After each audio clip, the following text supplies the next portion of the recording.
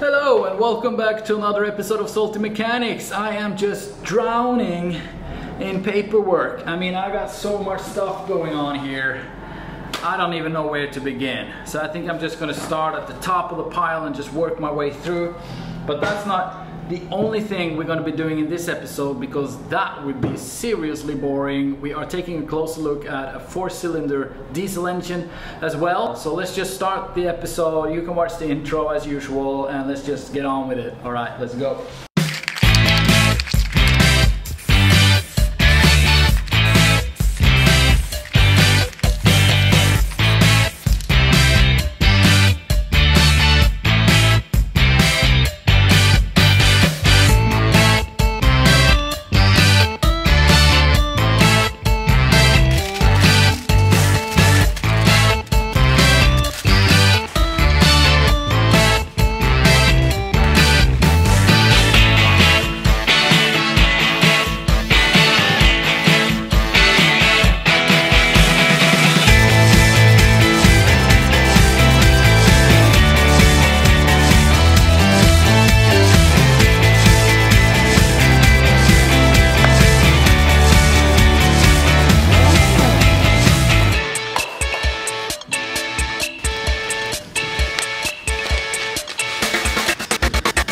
Well, I guess we're all done here. Let's just go outside and get something done because I don't make any money sitting here. Let's go.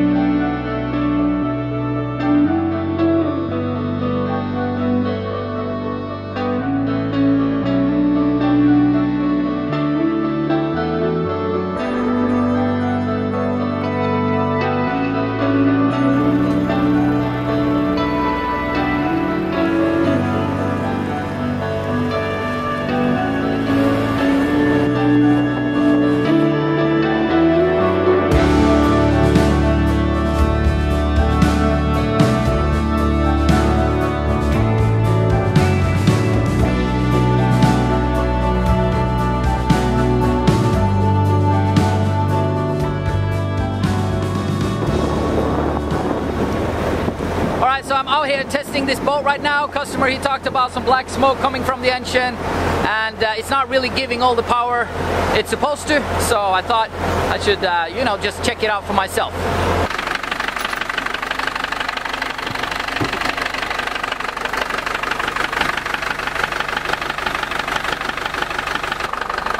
So my first impression is uh, that the turbo doesn't look good. I feel like I can't really get the right speed, the right RPMs. So there's definitely something holding it back. And the turbo kind of looks, I don't know what to say, just looks really bad.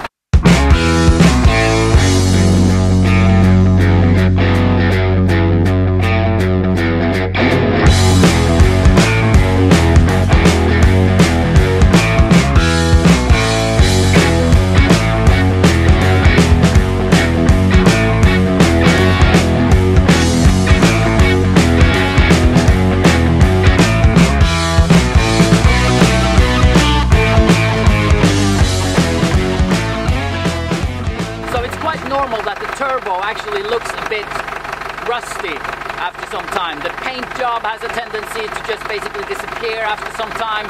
You know, there's a lot of heat going on. There's a lot of salt water coming out through the engine, going out with the exhaust. So, you know, you can't be too alarmed when you see a turbo that looks a bit bad. But this one looks particularly bad. So I think I'm gonna take a look inside it and see how it's um, holding up. So this is a 4LH from Yanmar and usually it looks a lot better than this.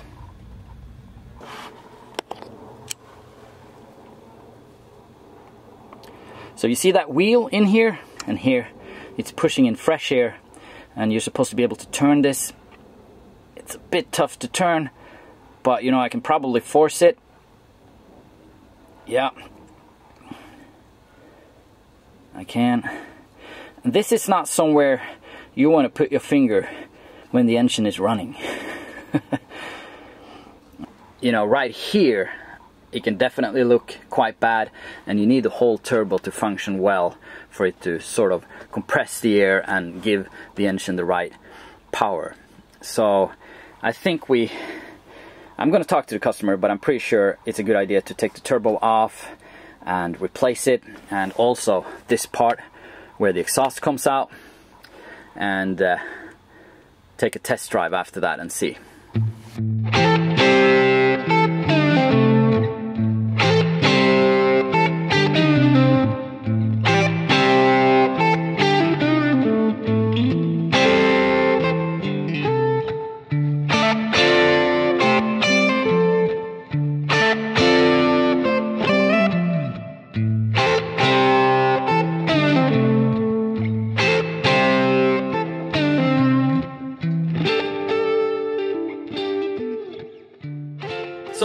Problem with just throwing things around is that, you know, you have to clean up as well. I just love making a mess, but then again, I have to clean up. And why I love making a mess? Well, it's because sometimes you're just in that work zone and you just want to stay in that zone and you don't want to spend any energy on anything else. So it's so nice to just be able to throw things around you. But, you know, I'm not the only one in here, so I can't just leave everything a mess for too long. So now I'm gonna have to clean up all this garbage and uh, you know there's coffee just all over the floor. and again, this moment takes me back to a time when I used to work as a garbage man. Sånn. Ja, da er vi snart ved miljøstasjonen igjen. Så skal vi dumpe den konteineren eh, her. Uh, ser se i speilet her. Ikke kjøre på noen. Og så drar vi rett ut på neste jobb. Og det blir tredje jobben. Så det går unna.